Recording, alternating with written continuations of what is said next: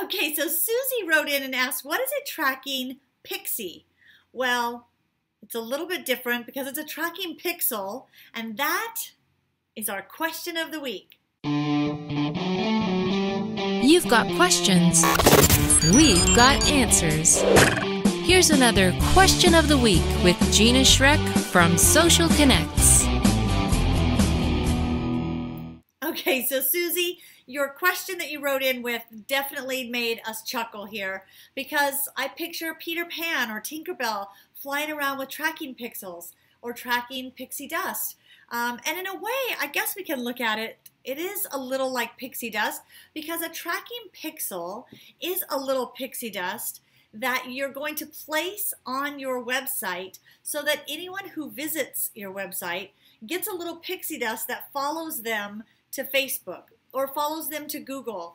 And then it starts, it gives you the ability to advertise to them. So let's just say that you go and look at a fabulous pair of shoes on a website, just hypothetically. And you look at this great pair of shoes and you're thinking, wow, I should buy these. And you're like, no, what am I doing? I got to get back to work. You close the tab on your browser and then you go and log into Facebook that night. And what do you see when you log into Facebook? That's right. You see those fabulous pair of shoes everywhere you go. You might go to Google and you're just Googling a, a, a, word definition on a definition site, and all of a sudden at the top of the page on this website is a banner ad for those shoes. What happened was that shoe company placed a tracking pixel on their website so that anyone who visits their website, they can then collect basically they're dropping a cookie, they're collecting your data so that the next time you log in to Facebook, Google, wherever they want to run ads, they can now run ads to say, I want to run an ad on Facebook for anyone who has ever visited our website. They can't say whoever has visited our website in the history of time, but basically within the last 180 days, anyone who visits our website. So Susie, my recommendation is all of us should place the tracking pixels for all of these a, a, Twitter tracking pixel, Google tracking pixel, Facebook tracking pixel.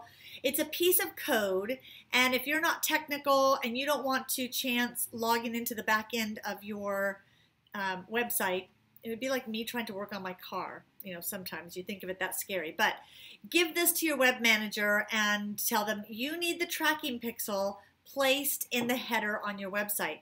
And once that piece of code is there, it goes to work for you. Whether you decide to run ads or not, all of us should have the tracking pixels placed on our website because it starts collecting information for you.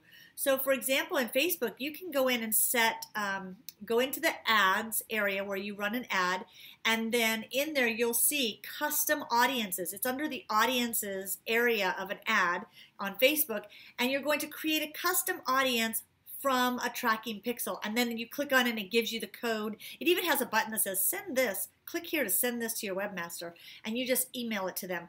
Um, once those are on your website, it's going to continue collecting this custom audience. So let's say six months from now, you decide to run an ad on Facebook. You decide to do some advertising.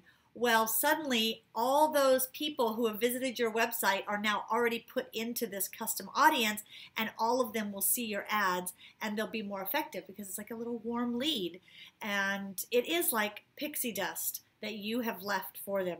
And if you're not sure where to get your Google tracking pixel, ask your webmaster. They know these things. They they speak pixie language, so it should be helpful. So Susie, thanks for the fun and entertaining question. Um, be sure you all subscribe to our channel because you don't want to miss a juicy nugget or any pixie dust. And so I look forward to getting your questions, um, connecting with you on social media, and until the next video, get out there and be social.